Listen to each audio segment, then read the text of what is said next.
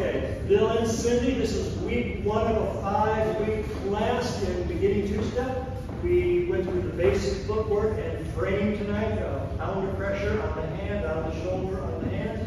We went from close to cuddle, basic, slow, slow, quick, quick, first slow, second slow, quick, quick, slow, slow. When I turned her from close to cuddle, I put my right hand up to trace the back of her arm. She is doing a half turn on the second slow. We'll do that again, then we came to closed position. We're going that way. Basic, slow, slow, quick, quick, knee, turn. Quick, quick, prep, prep. Mark time if you're a leader, catch your back, the elbow comes up and over. That's what we did week one. There will be more coming.